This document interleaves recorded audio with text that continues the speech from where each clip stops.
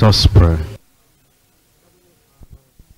Heavenly Father, we thank you for our gathering together today. We thank you because you have spoken to us on practical issues. You have helped us to see how the work of the Lord should be done. You have shown us the qualities to demand from our lives. We pray, O Lord, that your grace will be abundant in our lives so that all that you want us to do will be done to your satisfaction in Jesus' name. You have satisfied us with your grace, with your love, with your word, with everything that you have given unto us. All we ask now is, are you really satisfied with us?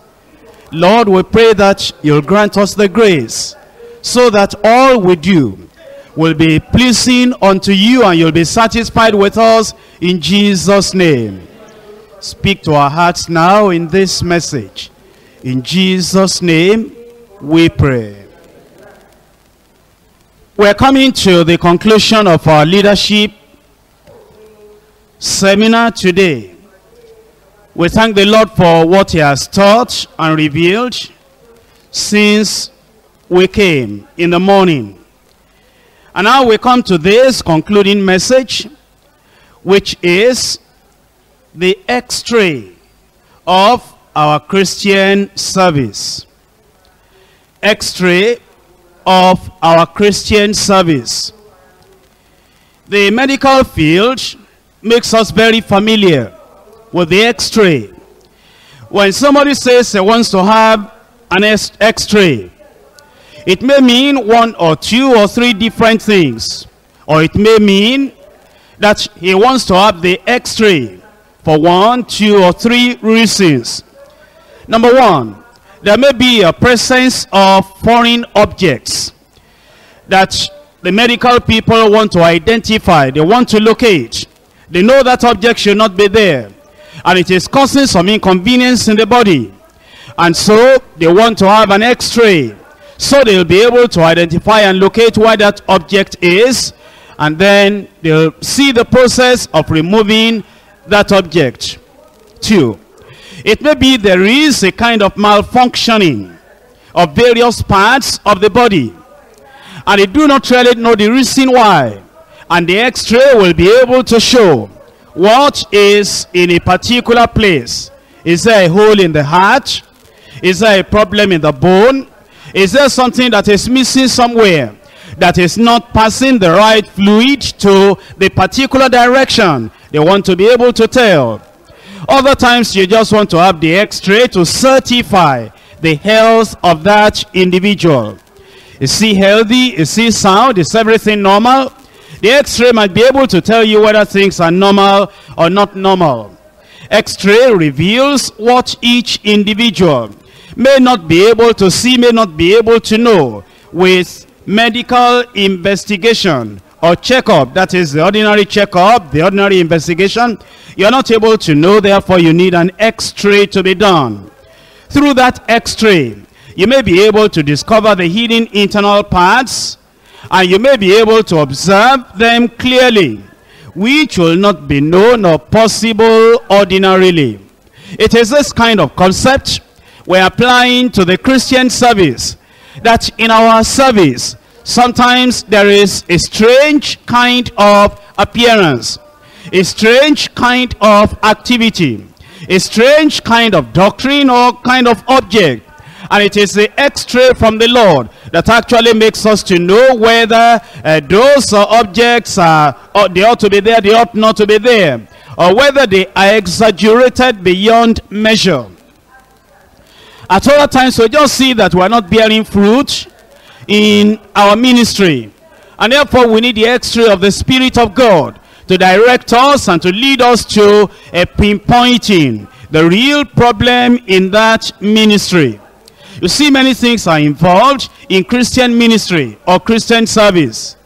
All we do will eventually be scrutinized, examined and evaluated by the Lord. And we just want the Lord to help us right now so that he will scrutinize it now. Evaluate it right now. And he will examine it now to see actually whether they are pleasing unto him or not. Because you see at the last day, it will be very difficult to correct anything. All possibilities of correction would have gone. The day of grace would have been over. So we want that x-ray now so that Eh, all the correction we still need to make, we can make. In Hebrews chapter 4, verse 13. Neither is there any creature that is not manifest in his sight, but all things are naked and open unto the eyes of him with whom we have to do. We know that God has the ability and the capacity to perform that x-ray and to tell us if something is wrong. Tell us what is wrong. If there is any strange activity or strange spirit or strange kind of doctrine, the Lord can tell us right now so that we can get those things corrected and then our ministry will be pleasing in His sight. You can read on your own later Psalm 139 verses 7, 7 to 12. That passage is still telling us that God knows all things. Would you take a flight and go into the heavens? The Lord is there. Would you go into the depths of the sea? The Lord is there. Why it possible for you to make your bed even in the depths of hell, of Sheol, of the grave? The Lord is there. In fact, darkness cannot hide anything from him. And with that understanding, we know that he knows all things about us. He knows all things about our Christian ministry. He knows what needs to be corrected. God has given a pattern for Christian service that cannot be altered.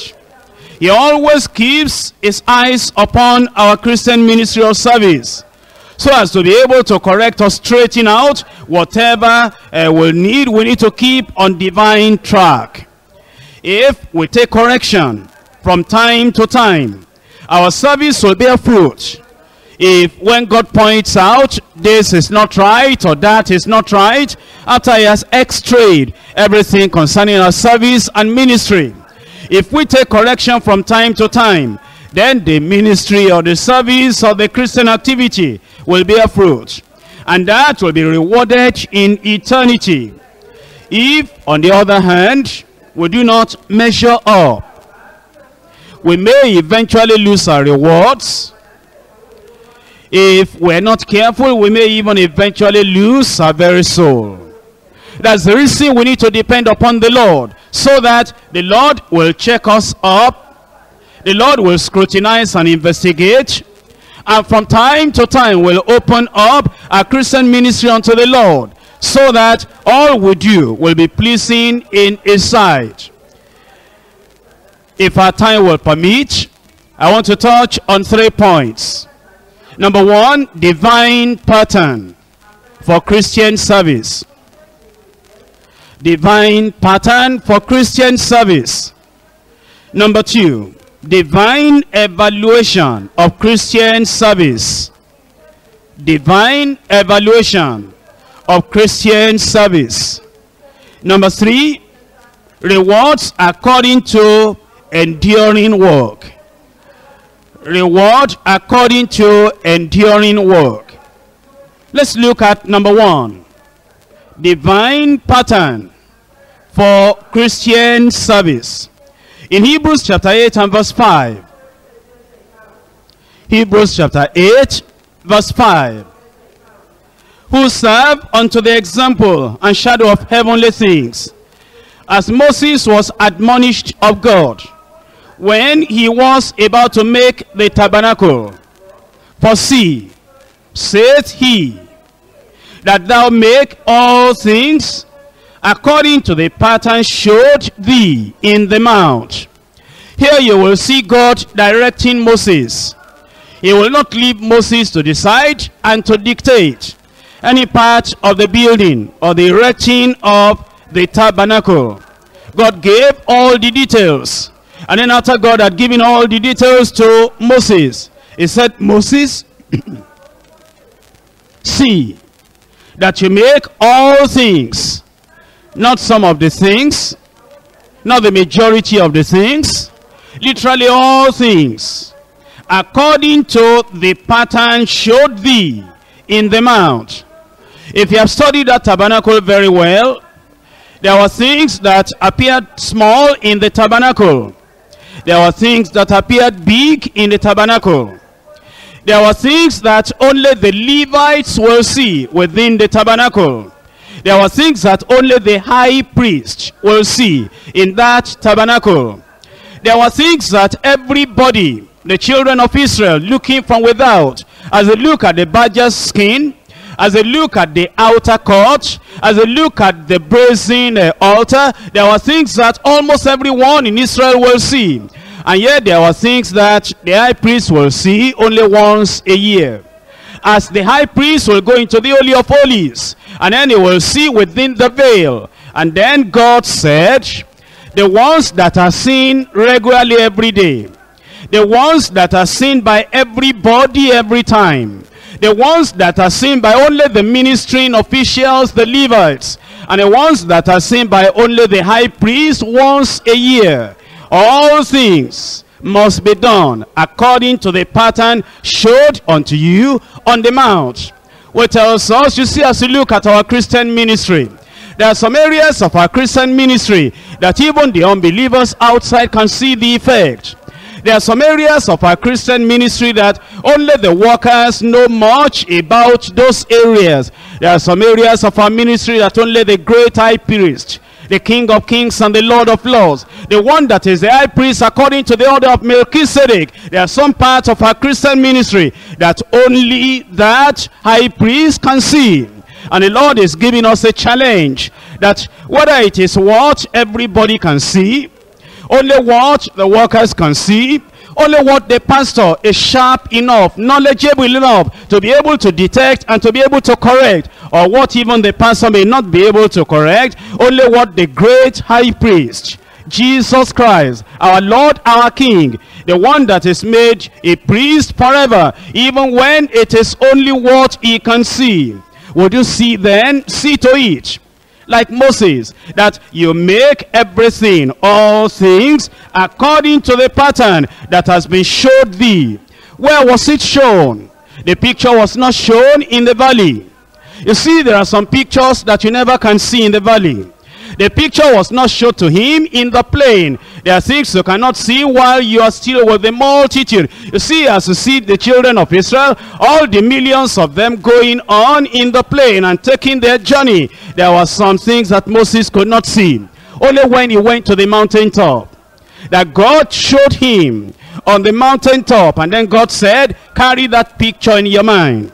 You've seen it on the mountain. It's been revealed unto you. Make sure that you do all things. You make all things according to the pattern you are shown when you were on the mountaintop.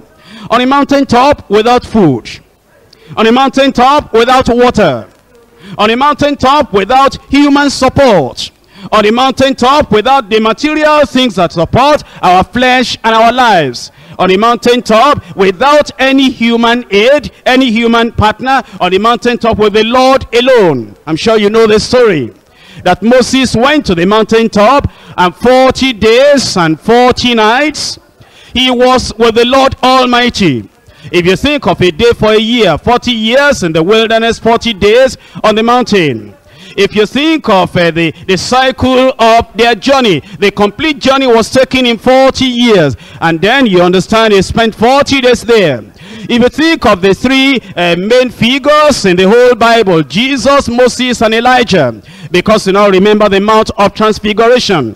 And you remember that that number 40 is common to all of them. Jesus Christ fasted 40 days and 40 nights. And Elijah fasted 40 days and 40 nights. And Moses fasted 40 days and 40 nights. And are they not all associated with the mountain? Jesus Christ on the mount gave the sermon on the mount. And Elijah on the mount, he saw the, uh, saw the rain that will come because we're so long on Mount Carmel. The fire eventually fell on the sacrifice. And then we're told about Moses on the mountain. Were there not revelations that were given on the mountain Sinai, on the mountain Moriah, on the mountain uh, with uh, Elijah, on the mountain with the Lord Jesus Christ, as he revealed the very meaning of the Sermon on the Mount, of the law, and of the whole, the whole concept economy of God unto us from the mountain. And now God is saying, now for Moses, see very clearly, and see to it you do not deviate and you do not erase anything, you do not alter anything. Make it according to the pattern show to you in the mountain. And then Jesus Christ from the mount has given us a sermon that we cannot alter. A sermon that relates to our lives, a sermon that relates to our relationship with God, a sermon that relates with our relationship with the people of the world, a sermon that relates with the church ethics, a sermon that relates with everything we do for the kingdom of God. Because you see the very center of that sermon, there's no time to think about it and to look into it now, is concerning the kingdom.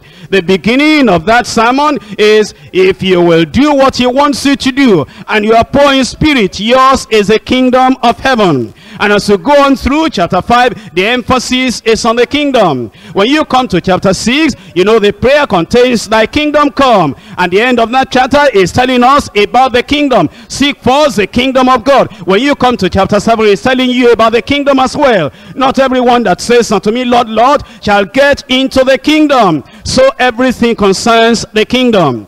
Revealed on the mountain and it tells you everything about your life everything about the spiritual everything about your relationship with the lord. Then it tells the church see to it that you do not deviate from what has been shown to you on the mountain.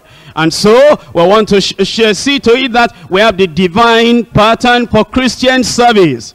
If you turn to first chronicles chapter um, chapter 28 First Chronicles chapter 28. And uh, we're looking at it from verse 9. And thou, Solomon, my son, know the God of thy father, and serve him with a perfect heart, and with a willing mind. For the Lord searcheth all hearts, for the Lord searcheth all hearts, hearts before now, hearts at this present time, hearts until he will come. For the Lord searcheth all hearts and understandeth all the imaginations of the thoughts. If thou seek him, he will be found of thee.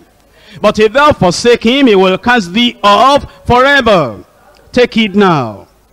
For the Lord has chosen thee to build an house for the sanctuary. Be strong and do it. Verse 11, Then David gave to Solomon his son the pattern. Let's stop there for a moment. Now, you remember Solomon was a wise son. Uh, if you read the accounts very well, the Bible says he had been wise. Even before David died, because you see somebody came to David and said, I praise the Lord for you because he has not denied you to have a son. A wise son to sit on your throne after you have gone. And even with all that wisdom, after David died and God appeared unto Solomon, God said, what do you want? And do you know what he wanted? He wanted more wisdom and understanding. And God gave him understanding and wisdom. And if you read in, uh, in the Kings and you read in the Chronicles, what do you find? You find that kings who are coming from all other nations because they had heard about the wisdom of Solomon. That man was wise. And we're told he was so wise, he had so many proverbs. Uh, we have some of them in the book of Proverbs. But we're told that he wrote about 3,000 proverbs. He spoke about trees, he spoke about the sun, about the moon, about the stars, about the fish, about almost any creature you can think about. That man was wise, but he wasn't allowed to use his wisdom in building the tabernacle, the temple that the Lord wanted to be built. Then David gave to Solomon his son the pattern. You see, if we're wise, wonderful. We're educated, wonderful. We're graduates, wonderful. You've been to university, great. And you have also been involved in various other things, marvelous. But do you know, when it comes into the work of the Lord, the service of the kingdom, we want to see to it that it is not by intelligence, it is not by native wisdom, it's not by acquired wisdom, it's not by experience. David delivered, he gave to Solomon his son the pattern. And you want to make sure that you have the pattern from the Lord. You have the pattern from the Word of God. You have the pattern as to how Christian work should be done. Divine pattern for Christian service. You may read the other verses up to verse 12 on your own. Then let's go to First Corinthians chapter 3. First Corinthians chapter 3. And we're looking at it from verse 10 and 11. According to the grace of God which is given unto me, as a wise master builder, I have laid the foundation, and another buildeth thereon. But let every man take heed how he buildeth thereupon. For other foundation can no man lay than that is laid, which is Jesus Christ. We have to be careful that we look at the pattern in scripture. And we build according to pattern. Discover the divine pattern. See what the Lord wants us to do. See how the Lord wants us to do it. Let us understand that if we're going to build at all, we have to build according to God's specifications. You see, when you talk about the temple, that temple was not the all-important thing as you think about it. The temple, that temple or that tabernacle doesn't exist now. The one they built in the wilderness is no more to be found now. And even though it was a temporary thing for a particular age and for the period of the law, yet God told Moses, you must make sure you build it according to pattern. If you think about the temple of Solomon, the one he built, also you will know that that one is already taken out of the way because of the sins of the children of Israel. And yet, you know, God gave the pattern. Now, the most important temple now, that is the church. We are the temple of God. We are the building of God. Now, you know, this other one you see here, the building you see here, will not be raptured. It's the church, the temple, the living temple that will be raptured all your buildings in your districts, that will not be raptured. It's the people inside those buildings, the believers, the children of God, that are going to be raptured. That teaches us a particular lesson. You know, the I see a lot of uh, mistakes today in the Orthodox churches. The Orthodox churches will spend more money on their church cathedral than they spend on the people attending the cathedral worship. They don't understand. That cathedral is going to be here after Jesus has come. But it is the people of God, those who are born again, that will be raptured after the church is gone. Uh, during our question time, we, we had quite a number of questions on our district church, our district building, our district days, and, you know, to make it like this and make it like that. If there is money, okay. If there is no money, forget it. And spend all your time and spend all your effort and spend all that you have on the people that are going to be raptured. Now, if God was so serious about the tabernacle, that already now is uh, folded up. If God was so serious about the temple that now no stone has been able to stand upon another, how much more is he serious now about the real temple, the people of God, the children of God, the building not made with hands, the tabernacle that actually God is going to make his habitation in with the people of God. We need to build according to pattern. Builders build according to the architect's design. Manufacturers manufacture according to the standard models.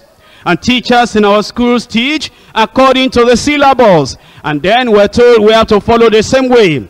And we as Christian ministers, that we must minister, we must serve, we must preach, we must organize everything that we do in the church of the living God according to the revealed pattern in the word of God. Now to build according to pattern, what are the things we need to note? Number one, know that pattern. Appreciate that pattern. Love that pattern. You see, if we're going to build according to pattern, we have to know that pattern. You see it from the Bible, Christian ministry. You look at the life of Jesus Christ, and you'll see Christian ministry. Look at Paul the apostle, you'll see Christian ministry. Look at the early church, you will see Christian ministry. And you will see how Christian ministry was carried out. You will see the pattern in which it ought to be done. You will see the foundation being laid. And you will see that you are supposed to dig very deep and then build on the foundation. Because he that hears these words of mine and does not do it, does not obey, is like a man that builds his house upon the sound, not having foundation. And then the rain will come, the storm will come, and will beat upon the house of the wind. And then the collapse will be great irreparable. Therefore, know that pattern. Appreciate that pattern. Love that pattern. Only then will you be able to build according to pattern. Number two, study and constantly re-examine the pattern. Study and constantly re-examine the pattern. Not to find fault. Not to find loopholes. Not to criticize. But to commit yourself to that pattern. You see, if you are going to build according to the pattern, the pattern must be your regular study. The pattern must be your regular, your regular thing. You must be very intimate with you, looking at it all the time, looking at it all the time to find out, is there anything um, deviating from the pattern?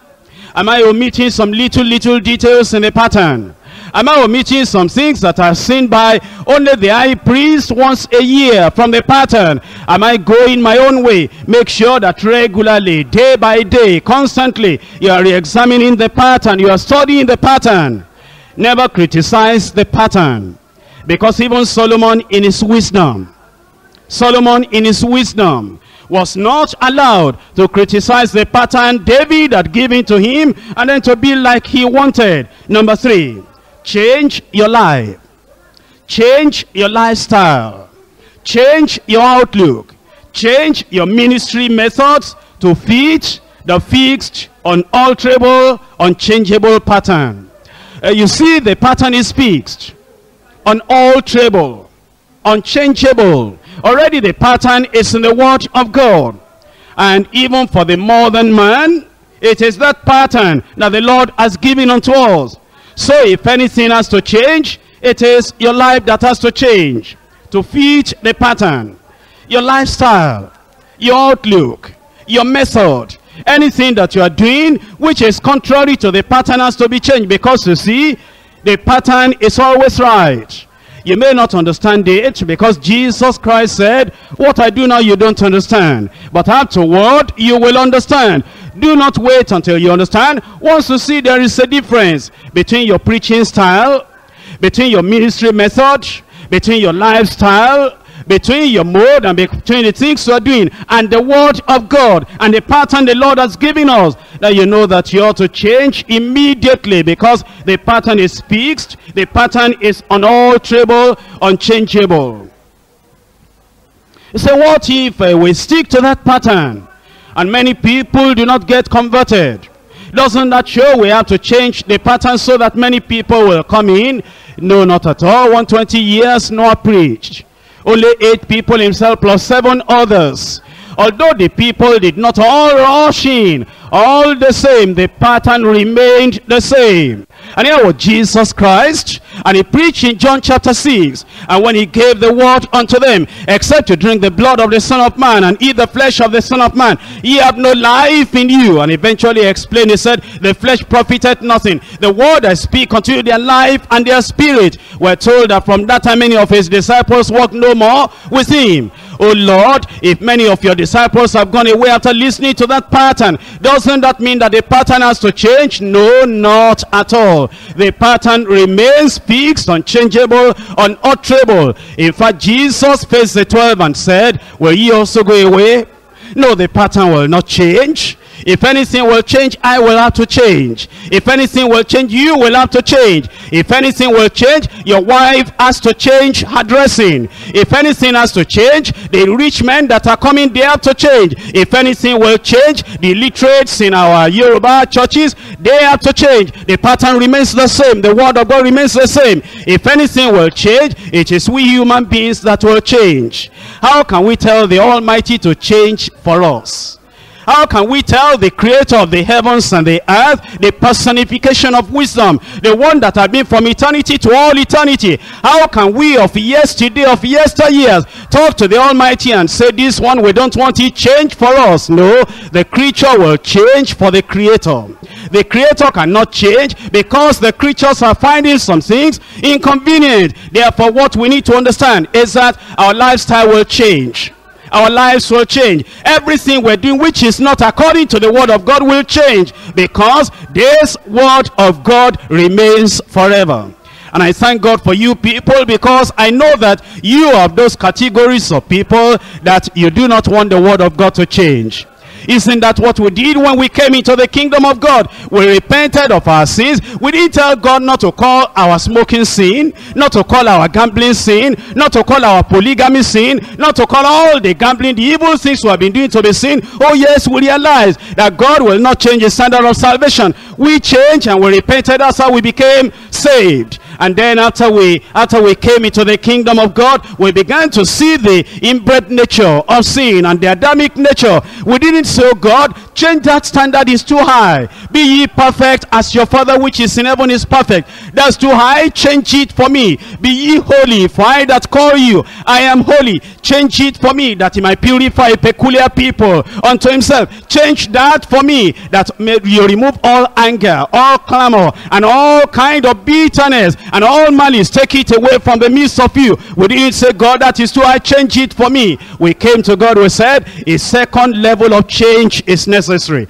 And so we came again. That second level of change happened. We became sanctified. And then when god said now before you are going to go to preach the gospel education is not enough Experience is not enough. Ability is not enough. Natural talent is not enough. Eloquence is not enough. You must be baptized in the Holy Ghost. We didn't say, oh God, that standard is too high. Change it for us. How can you expect a human being to pray and pray and pray to the point he will speak in a language he has never, never learned? That language is, uh, that kind of standard is too high. Change it for us. Oh no, the standard is there. And you know, 2,000 years now have gone, almost gone and passed and we're still we are the people to change and we are the people to consecrate we are the people to just plow ourselves under until all of self is totally taken away. If there is anything that will change we will have to change our families will have to change. Our children will have to change. And all those people in our districts, they will have to change.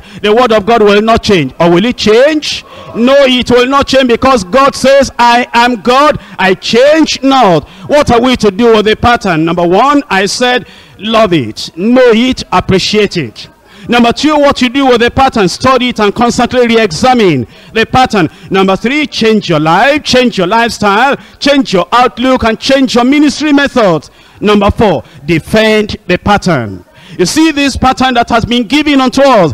Another architect may come around and tell us that the temple that Solomon built was not actually proper. The dimensions are not all right. Uh, what they used in the doors were not all right. The kind of wood they use is not going to last. And all the furniture in the, in the temple of Solomon is not going to last. And you know, all these nations are coming. And the queen of Sheba will come. And all these various kings will come. Anybody might try to tell Solomon, this wood is not all right. The one that you have covered with silver is not all right. The one you are trying to cover with gold is not all right. And Solomon will say, I can't change it.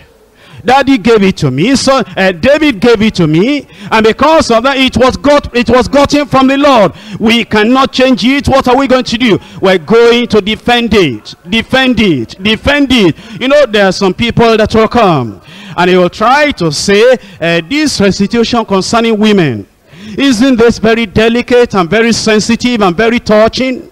Doesn't it expose people, you know, all these uh, women, they do restitution. And when they do restitution, they're going to, you know, leave a man who will care for them, who will care for the children, defend the pattern. Other people are going to come and say, you know, if you really want people to come, all these uh, things we're reading in the word of God. Why can't we overlook First Timothy chapter 2 verse 9 about jewelry, about the air, about all the dress and everything? If we will just keep quiet on that area, more people will come. We interview them. We know their problem. We know why they are not coming. They say they don't want this. They say they don't want that. Defend the pattern. Other people will say, holiness, holiness all the time. Look at poverty. Look at joblessness. Look at barrenness. Look at all the things that are taking place in our land. If we're, you know, if we don't take time, Look at the way the people are suffering. You know, when somebody dies, you know, we're asking the questions now and trying to answer the questions. Somebody dies, no money to be able to take that person uh, to his village. And the people are getting discouraged and this and that. Why don't we give the time? Give up the time and all this holiness, holiness, holiness. And trying to keep the standard and the pattern. Don't we know that now people are suffering? And what the people actually need now in this difficult time, they need understanding and they need care and they need love and they need provision and they need our strength and they need this and that if we're able to give that okay but if we're not able defend defend the pattern defend the pattern. Other people will say i've been coming to this your church. And uh, you know what i don't agree with? I don't agree with this. I don't agree with this. I don't agree with this. Now what are you going to do? Are you going to support the sinner and oppose the lord jesus christ? Are you going to bend the knee to the rich man that has just come, to the politician that is trying to come, to the women that are trying to come, and you are going to turn your back on the Lord Jesus Christ? Defend the cross. Defend Christ. Defend the doctrine of the Bible. Defend the pattern that has been given unto us. Whatever is happening, whatever winds may be blowing, and whatever storm may be around you, there's one thing to do with the pattern. You look at it, you love it, you appreciate it, you know it. You study it, you re-examine it from time to time. Not only that, you change your life, you change your lifestyle, you change your own kind of outlook, and you change your ministry methods, and then you defend the pattern and the doctrine and the methods and the standard that the Lord has given unto us. Number five you periodically assess your own Christian service in line with the pattern. Periodically, you will assess your own Christian service with the pattern. Periodically, you will just sit down and say, how do I measure up in preaching salvation? How do I measure up in preaching that people should live above sin?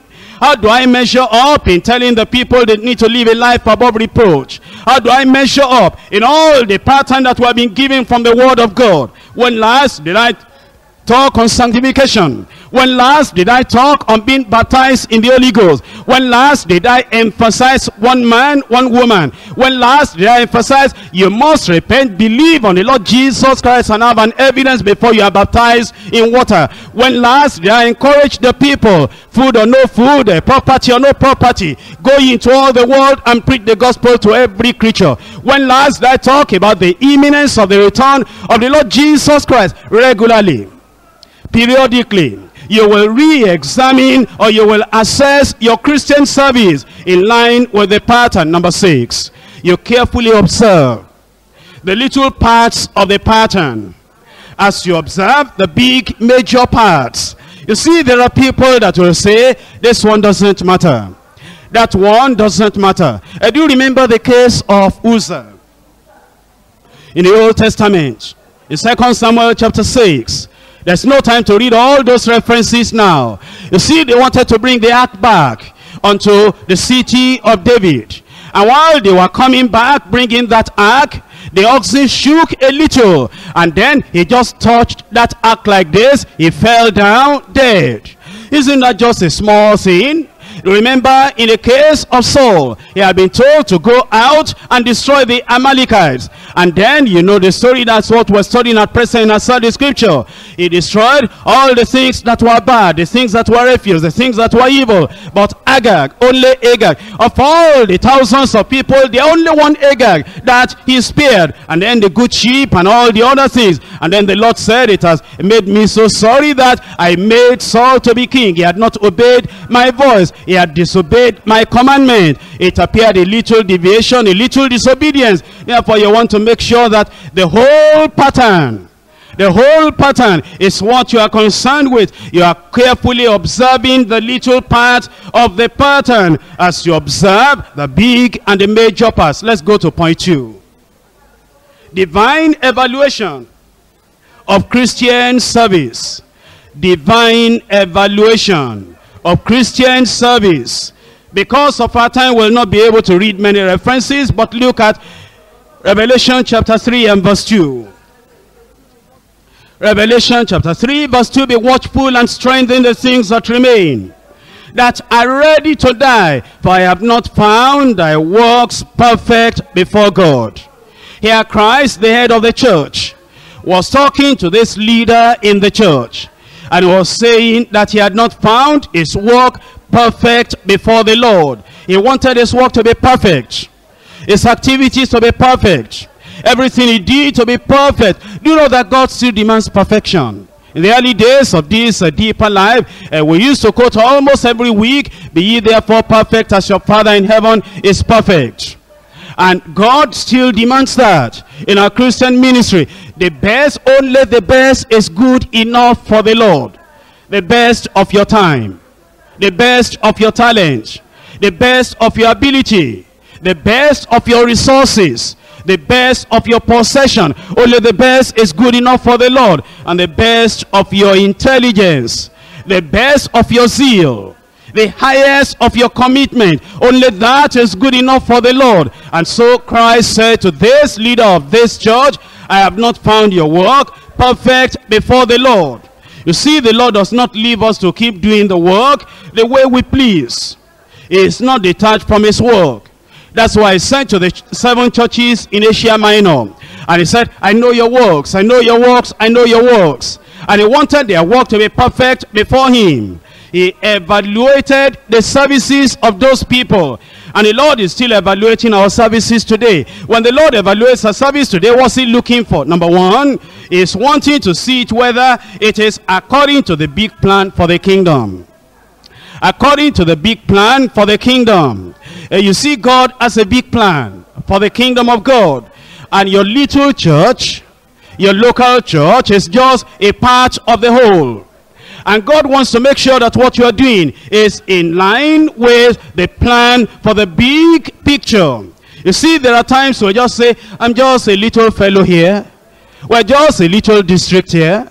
We're just a little, a little language church over here. It's a little church, yes. It is a part of the whole. And the Lord is wanting to see, is evaluating your Christian service to see whether in your small corner, in a little language church, in a little district church, whether you are doing that little thing in your corner there according to his big plan for his kingdom. Number two, when God evaluates our Christian service, he's looking at it whether it is glorifying to God and honoring to Christ.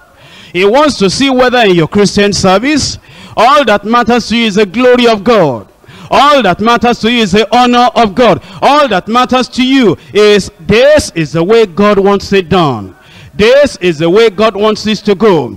This is the place God wants us to live. Now, we have to be very, very vigilant on that. You know, sometimes it's, uh, God even wants you to be without a building. Sometimes. Sometimes God wants you to have a building. Sometimes God wants you to have just a kind of ramshackle building. He doesn't want his glory to be swallowed up in a magnificent kind of tabernacle or cathedral. Uh, very recently, about two weeks ago, uh, one of our language um, coordinators uh, told me that they had got land. And then I said, how did you get it? He said, somebody gave it to us. And I said, I want to see that individual. And eventually, about two weeks ago, that individual came, a woman. And this woman dressed like any of us, any of our Christian women will dress. But the first thing for me to check up as a person that wants to keep to the pattern is, are you born again?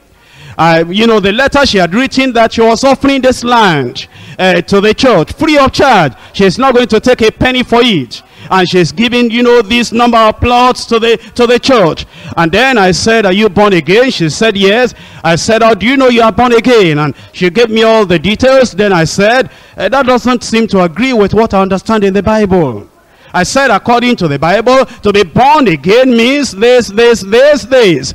And then uh, she said, oh, if it is like that, then I don't fully understand. I said, which church do you attend? And then she mentioned the church, but not deeper life. And uh, so I said, well, here we have a principle. And the principle is, we don't take anything from you until you are born again. And we cannot be sorry for that. We need land, but we're not going to take it from just anybody. You know, Abraham, the father of faith, he told the king of Sodom, he said, I've raised my hand to the Lord that I will not take from a shoe latchet of what belonged to the uh, king of Sodom, lest you, king of Sodom, should say, I made Abraham rich. And so I said, Madam, we're very sorry. This person that came with you, let her go and explain salvation to you, being born again to you. We cannot touch your land. We cannot take your land. And I've not seen that um, language coordinator to, you know, to ask him how far is everything now but you know i rejected that land uh, you know that's bible that's bible if you're too much eager for land eager for money. You're going to get into trouble. You know another district uh, the coordinator is uh, english uh, a church coordinator. They've been looking for generator for a long time. And then they discovered a check in the offering box and he knew that it would be for the generator. And he came to tell me he said praise the lord we got uh, you know this amount of money a, a large amount of money. And i said uh, uh, you know the person that signed that check? He said yes I said, is he born again? Why about his life? He said, in fact, that's why he came to see me as being concerned. Because that person is not born again. I said, you have to return that check. We can't spend that money. If we don't have generator, we don't have. We have Christ, we don't have generator. We have Holy Ghost, we don't have generator. And we have we have the Bible, but we don't have generator. And I'm telling you that this word of God, the eternal word of God, is greater than generator. Christ in you, the hope of glory. Not generator in the church, the hope of glory. It is Christ in you, the hope of glory. And I still saw that coordinator yesterday. I said, how about that uh, thing now? And you know, I told him how to how to prayerfully and methodically and intelligently and, and in a courteous manner talk to that man and tell him, we're sorry. This is the way the church is. We cannot take that money. And you know, if we don't know the pattern, the, the tendency is that you'll just say, we need this, we need this, we need this. And we're going to fall off away from the pattern. Let's come back to the pattern. Let's come back to the word of God. You know, deeper life when we started, no land, no building, no generator, no loudspeaker system, no organ, no musical instrument, but we had the doctrine and a deeper life of that time with no generator, with no church building, with no property at all, we're still praying that God will take us back to Bethel. Am I right?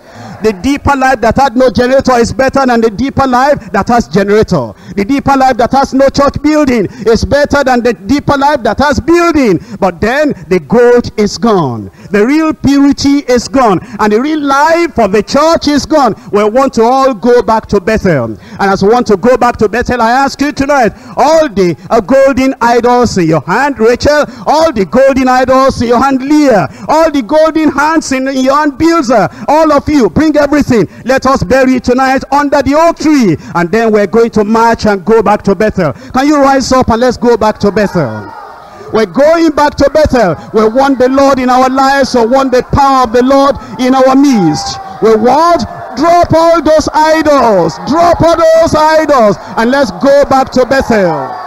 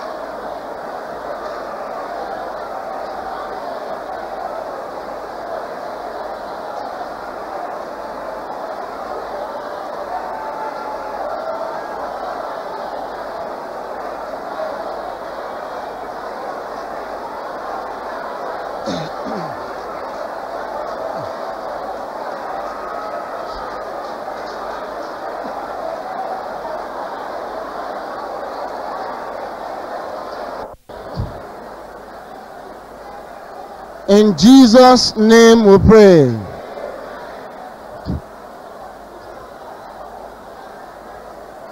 Amen.